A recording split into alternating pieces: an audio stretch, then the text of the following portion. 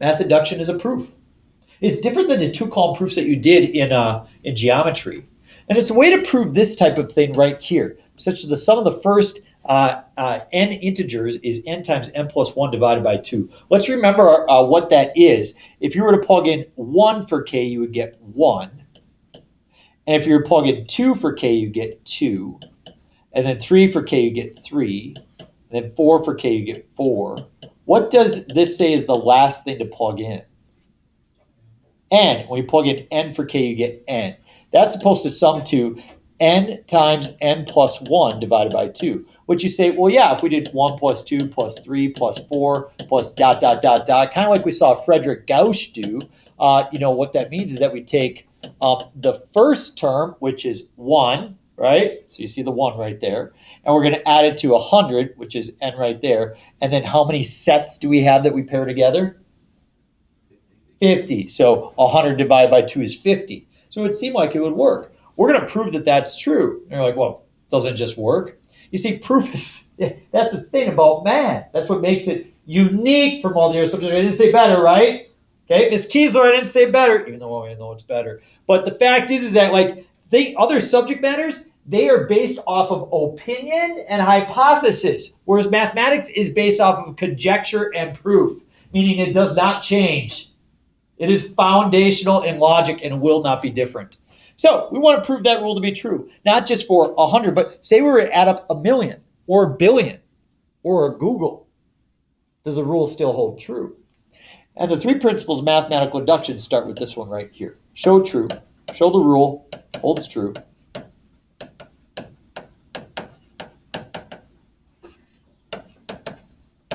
For the first few cases.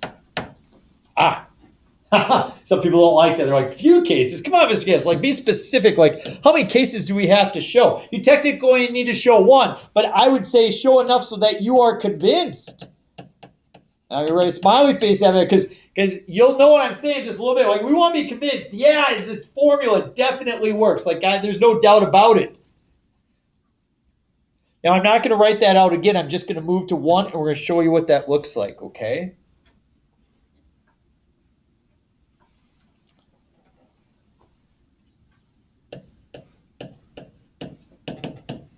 Let's just start with the basic thing. Suppose we're not going to add up 100 terms. Suppose we're going to add up one term.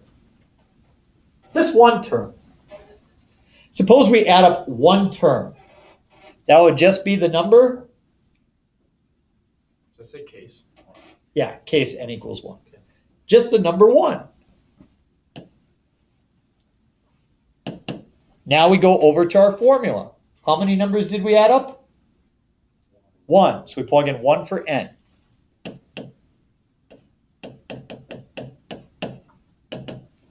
Are those two expressions equivalent? They are.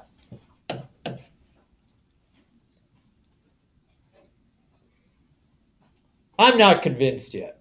Like maybe one just happened to work out. Let's try case n equals 2. So now I'm going to add up two numbers. What do the first two numbers add up to? It's not trick question. Adds up to 3. So I have 1 plus 2 is going to have to come out to be 3. Let's see if the formula works. We added up two numbers, so I plug in 2 for n. 2 times 2 plus 1 divided by 2, and I do get 3 check mark. Yeah, I'm a little bit more convinced. This seems like a pretty cool formula. I like it. We're, I'm going to try another one. I'm going to try case n is equal to 3. n is equal to 3. All right, let's see here. So we got 1 plus 2 plus 3. What's that add up to? 6. Let's see if our formula works. So we plug in 3 for n, and we get 3 times 3 plus 1 divided by 2. Um, 3 plus 1 is 4, times 3 is 12, divided by 2 is 6. Yeah, hey, it worked! Brecken, do you think it's going to work for 4? Yes. Ty? Yeah. Autumn? Axel? Brian? I think it's going to work for 4. Are there anybody, anybody disagreeing with that? You're, you're kind of convinced right now, aren't you? But you see how it, it, it kind of helps the more examples you see? Try to draw to a point where you're convinced. Usually people say, you know, do three, you know, you know, that's kind of a good number. Second step of math induction is as follows. I just asked Brecken if he thought it was going to work. He, he said, he said, yeah. So instead of showing again, we're going to assume, assume the rule holds true for case n equals k. And think of k as like the next few in order here, like four, five, six, seven. Okay. Don't think of k as like any just big number. Think of it as like the next few cases. That makes sense? We're going to assume it works for the next few. Okay. Now a lot of people don't like that idea that we assume, but I'll show you what it means.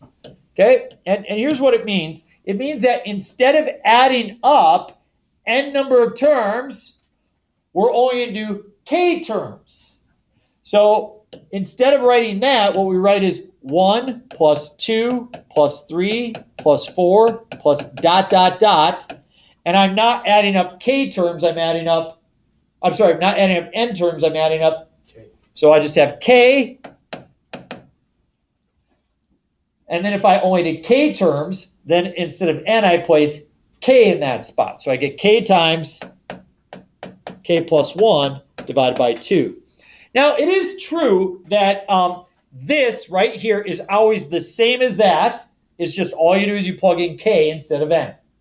This is what we call the inductive hypothesis.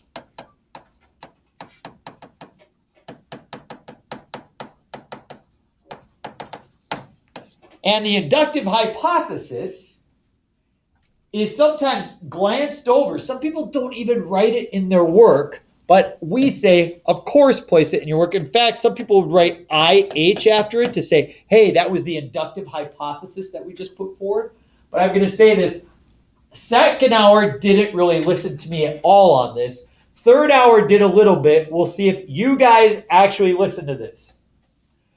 You use this every single time. We will make use of this. Everybody got that? This is not something we just write down for fun. You will make use of it. Got it? Okay, that was, that's all we do there. Then we move on third step. Show the rule holds true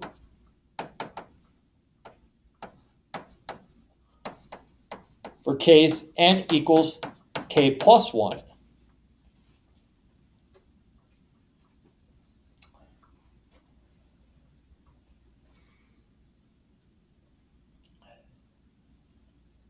Okay. Here's here's the here's what you get for the wealth of experience in teaching. Okay, work 25 years to try to get to this point. Anybody ever uh, kind of had one of those pictures that shows up on a board where, like, you look at it one way, you see like an, an old man with a beard, but you look at another way, you see like a rabbit, or you know what I mean, where you can see two different things. And, and when you look at it, you say, "What do you see?" Somebody's like, "I see an old man." You're like, what? How do you see? What? I don't see the old man. And then you like look at a certain way, and all of a sudden you're like, "Oh, I see it now." You see what I'm saying? Ever that ever happened to you? Is what I'm talking about. That that for some people is what's going to happen right now. Okay, so I, I, will tell it to you. Not everybody will actually see it. Everybody will nod their heads, but we'll see if you can see it. Okay, you ready? Okay, so there's a few parts. This First of all, k plus one. Okay, so we had k, we have k plus one. If this is k, what is k plus one? k plus one is the next term. Next term. Everybody agreed? So k is current, k plus 1 is the next one. We got that? So we want to show it's true for the next one. That's the idea. Now, we'll see how this works for you then, okay? So keep that idea. The next one, the next one is what we want to go to. What does the next one look like? Well, I, I don't want you to write this down. I just, I just want you to think through this, okay? The next one. So we have um, works for case number right there. And then we have next one, okay? All right, and we have next one, okay? So we currently showed it works for what case? K. We assumed it works for K. We showed that it works for one, two, and 3. Everybody agree? We showed 1, 2, and 3. We Nobody can dispute it works for 1, 2, and 3. Everybody agreed? Okay, great. So 1, 2, and 3. So those are like our Ks. Okay? We want to show it works for the next one, or K plus 1. So if we show it works for the next one, then that means it would work for 4. Everybody agree? So if, if we if we say it works for 3 and we show it works for the next one, then it will work for 4. So if we show it works for the next one, it works for 4. Then we get to take 4, we say, well, we showed it works for that, so now that goes here. And now the next one is, yeah, we showed it works for the next one, so it works for 5 as well. Well, then 5 gets to join in here. And if it works for 5, it works for 6. And then 6 gets to join in here.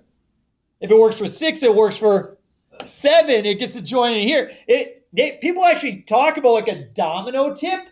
Like you tip the first couple dominoes, and once you do, the, the one behind it makes the other one move forward. Do you see that? So the cool thing is, once you show it works for these, as long as you show it works for a next one, then you go from three to infinity like that. They just all tip and knock over. Isn't the, I mean, can't you appreciate the genius of the logic there? That's Frederick Gauss. I mean, it's pretty cool. You know, math induction is a pretty, pretty impressive process. So let's see how that actually kind of kind of works through here, okay? Show it works for case n equals k plus 1. So here's what I write down. I got the 1, the 2, the 3, and the 4, and then the k. But I'm not going to stop at k this time. I'm not adding up k terms. I'm adding up k plus 1. So I got to add another one there. I got to add k plus 1, okay? And that's going to be equal to, hey, here I was adding up k terms, but now I'm adding up k plus 1 terms. So if you look at our original uh, sequence uh, uh, sum right here, we're going to say that we, we replace n with k plus 1 now. So we're going to put a k plus 1 in that place, and we get k plus 1 times k plus 1 plus 1 divided by 2. There we go. Okay. So that's all we have to do to make the proof go. We got to say that the, the left side is equal to the right side. That's it. That's it.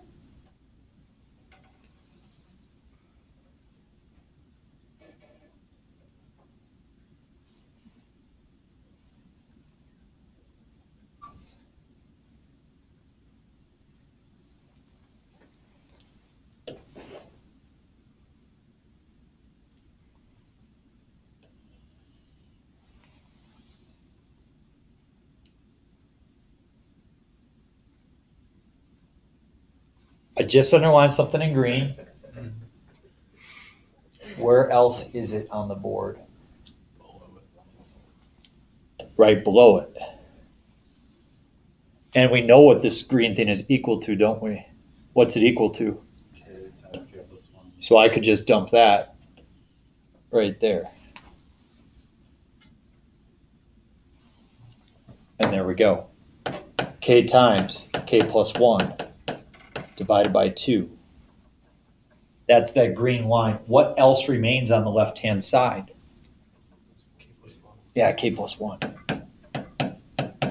And that is supposedly equal to k plus 1 times k plus 1 plus 1 divided by 2.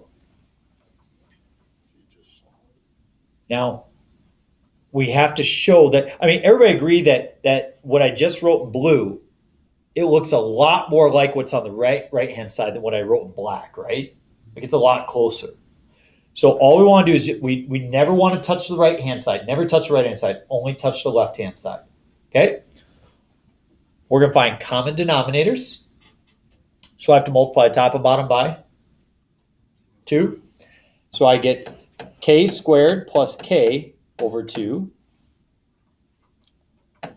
plus 2k plus 2 over 2 is equal to that thing.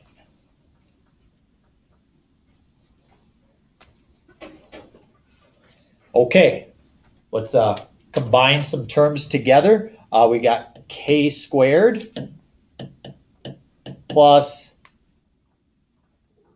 3k plus 2 over 2. Now, here's the thing, folks. You can't do anything to the right hand side, but you get to look over at it. Like this is written in factored form, isn't it? So we know that this thing is going to have to factor with a k plus 1. So let's just write k plus 1. Well, it's k plus 1 times what? K squared plus 3k plus 2 factors to k plus 1 times what? K plus two. Yeah, k plus 2. And that should seem obvious because you see that k plus 1 plus 1 is k plus 2. We're not going to actually perform that over on this side, but now all we got to do is just separate 2 into 1 plus 1.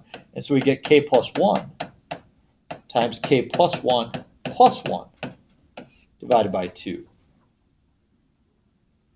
And if I'm not wrong, that's the exact same thing that we have on the right-hand side.